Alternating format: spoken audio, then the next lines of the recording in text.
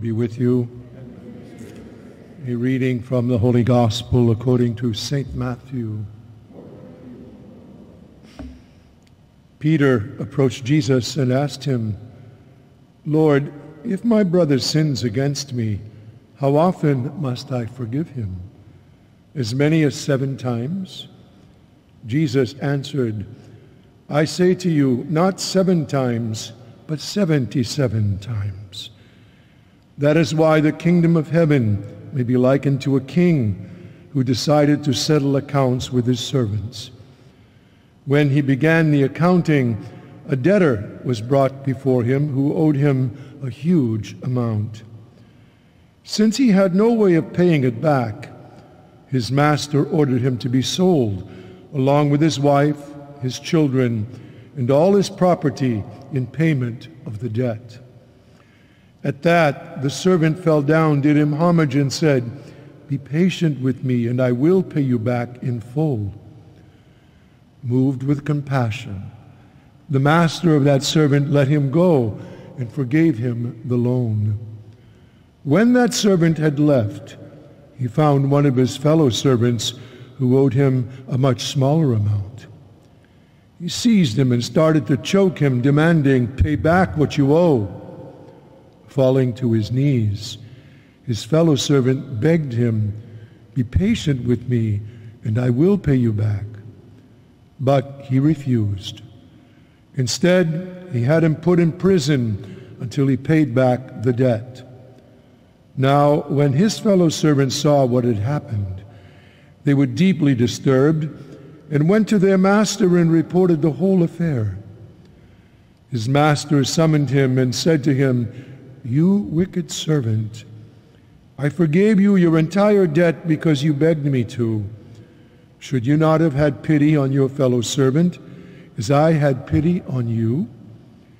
Then, in anger, his master handed him over to the torturers until he should pay back the whole debt.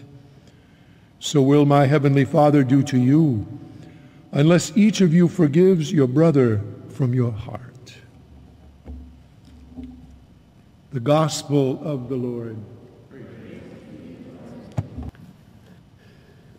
I find that so many people confuse forgiveness of the heart with how they feel. And forgiving somebody has absolutely nothing to do with how you feel. Forgiveness is an act of the will. It's an act of the will. It doesn't have to feel good. You just have to do it. And so what does that look like?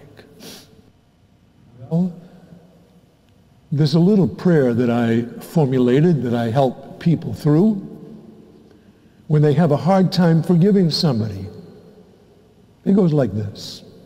In the name of Jesus, I forgive whoever it is for everything they said, for everything they did, for everything they failed to say and everything they failed to do that hurt me. And I set them free. And I turn them over to Jesus for him to do with as he pleases. Amen. That's forgiveness. Now the hurt feelings come from the trauma that we've all experienced by being hurt.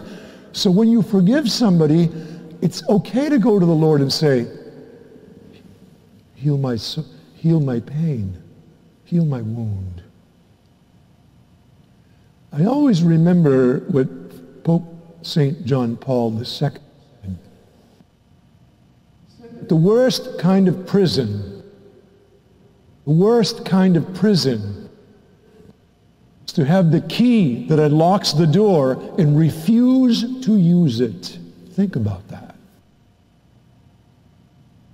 So when we have resentments, when we are unwilling to forgive we are holding people hostage, we are in prison.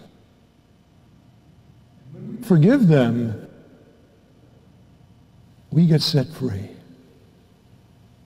I've had more than one person tell me when I've led them through that simple little prayer, Father, I feel like a thousand pounds was lifted from my shoulders. When we will to forgive,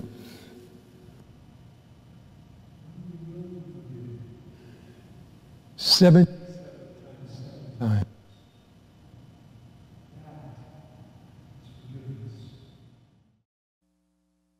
Regina Celi, letare,